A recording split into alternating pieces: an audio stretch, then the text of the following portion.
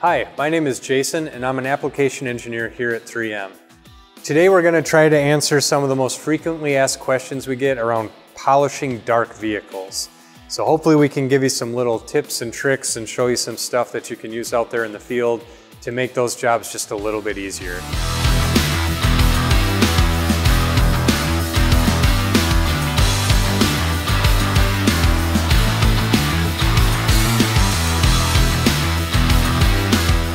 Before we get started, I just want to mention a couple of things.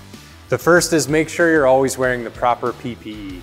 Anytime we're sanding and polishing, we want to make sure we're wearing our nitrile gloves, safety glasses, ear protection, and then also a respirator. The other thing I want to mention is this video is intended for professional use, so for all of you technicians that are actually out there in the body shops. If you want any additional safety or warranty information, be sure to check the links in the description below. So at 3M, we get a lot of questions about polishing dark vehicles. Uh, best thing I can do is show you some of the tips and tricks that I've learned over the years and that my fellow application engineers have run into in the field. The biggest thing I want to stress is make sure you start with as clean of a panel as possible. Most of the issues I see is from a dirty buffing pad, a dirty microfiber cloth, maybe crust around the top of one of the compound or polish bottles that falls onto the panel and we go across the surface and we scratch what we just made absolutely perfect and it took us all day to do. So make sure you clean all that stuff off and you start with the cleanest environment possible. The next thing we'll talk about is on the sanding side. So with most repairs or remediation on the paint finishing side, typically what we do is we grab 1,000 or 2,000 or 1,500 grit paper and we start sanding with the DA. Once we do that, we move on to two or 3,000 Trizact, and from there we begin our compounding and polishing process. Anytime we're working with black vehicles, I recommend sanding one extra step finer just to make sure any of those coarser grit scratches are fully gone before we move on to compounding. Nothing's more frustrating than when you get done with your full polishing step, you clean everything off, and you see one or two big swirl marks left in there or DA marks from your paper, and now you have to start that whole process over again. So what I recommend, instead of starting with a 1000 grit, try to go no coarser than 1200, and then 1500, um, 2000, and then we can jump into our finer papers like 3000 Trizact. And then I would also recommend on a black vehicle, that straight black with no metallics, going one step further and trizacking the whole thing again with 5,000 grade. Um, again, this just ensures if we missed anything that hopefully this last sanding step picked that up and it's not gonna show up once we do our final clean of that vehicle.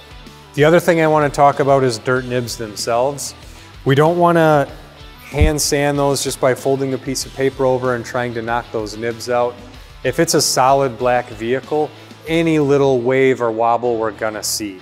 So make sure you're always using some type of sanding pad or block, whether it's a firm block like this one, you can see how this is kind of harder to bend, but it still can conform a little bit. And then here we have one that bends quite a bit. So if we're anywhere near a body line or around a sharp curve, this is more of the sanding pad that we're gonna wanna use or sanding block. Um, so when I take out nibs like that, I like to use a, a flexible abrasive.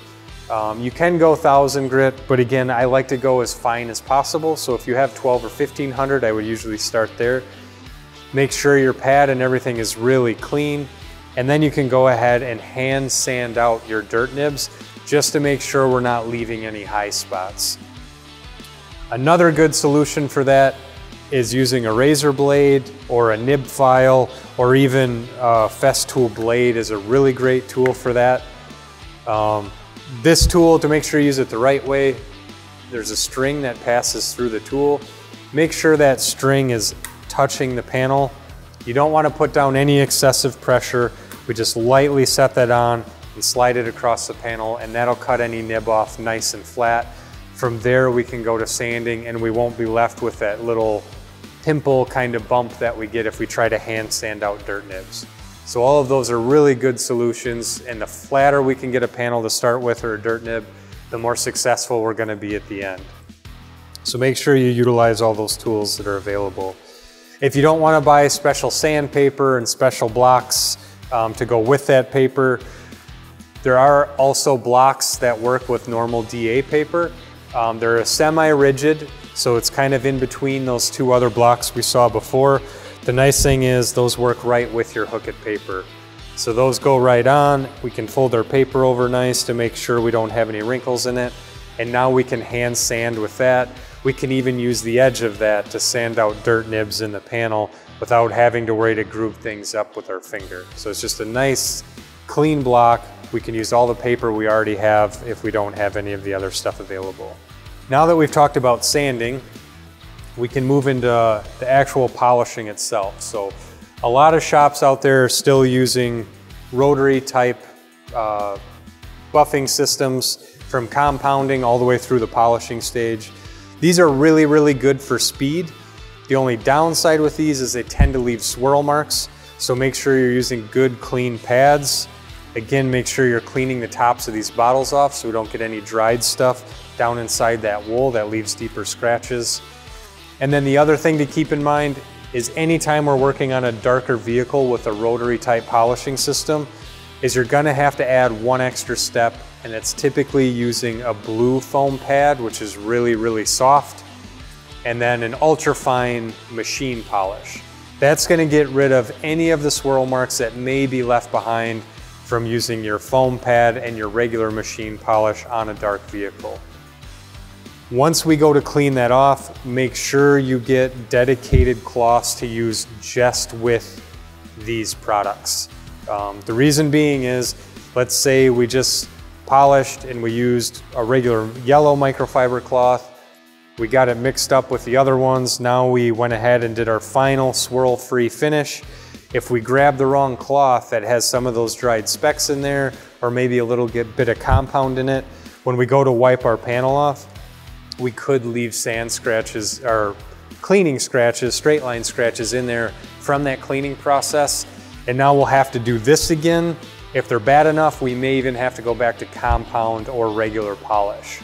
So be very, very mindful. I always recommend having dedicated blue microfiber cloths that touch nothing other than these products. When you're done with them, make sure you put everything in a Ziploc bag so it stays nice and sealed up and doesn't overly dry out. Because again, if we get any dry spots of polish left in here, that could leave a mark in our final job and we might have to redo some steps. What I recommend for dark vehicles is moving to a random orbital type system. If you don't have one of these in your shop, it's a good thing to get a demo on um, or reach out to us and we can give you more information on those products. The nice thing with a random orbital type system is it leaves a very, very high-end polish with virtually no swirl marks at all. The motion of this machine doesn't allow it to leave standard swirls. Um, so it, it's much better on those darker vehicles.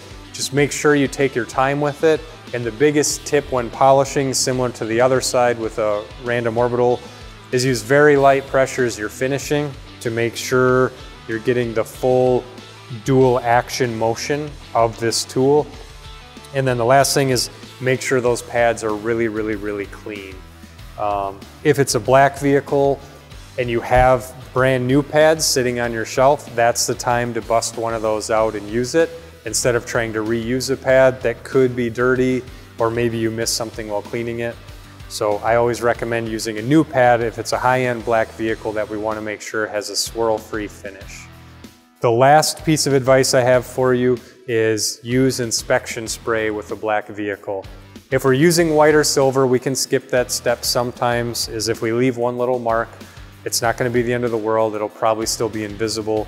But with a black vehicle, after each step, make sure you coat that panel with inspection spray and use a nice clean microfiber cloth to clean that off of there before you move on to the next step. Again, if we leave something or polish is maybe filling a little swirl mark, and now we move on to our final step, once we do our final cleaning, we might see we left one of those behind. And again, we have to go through that whole process all over again. So clean as much as possible. Make sure you're using clean pads. If you have new pads and it's a straight black vehicle, that's the time to switch those out. Don't sand dirt nibs by hand with no type of block. Make sure you're using some type of block, um, whether it's a soft block or firm block. And any of your nibs, be sure to fully flatten those out with either a razor blade, a nib file, or a Festool blade. Again, that's gonna give you the best opportunity for success. Um, this panel is very well polished already.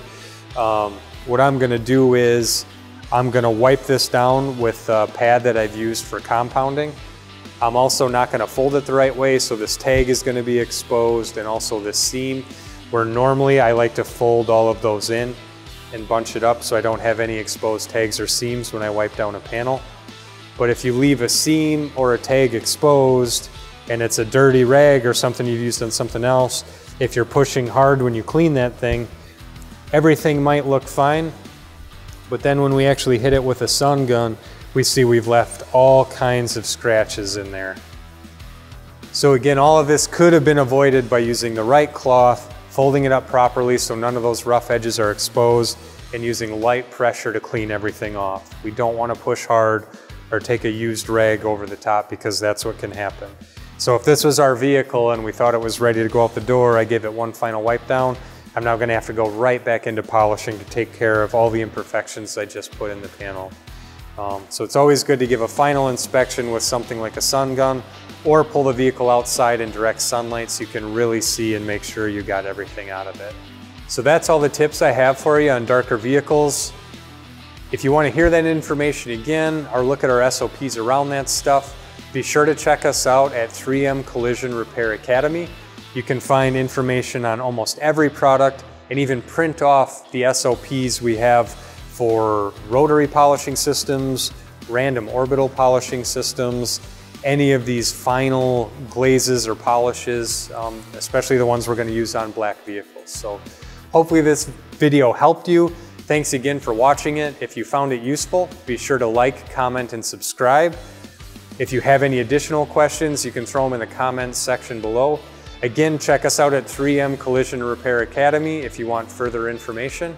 And thanks again for watching and we'll see you in the next one.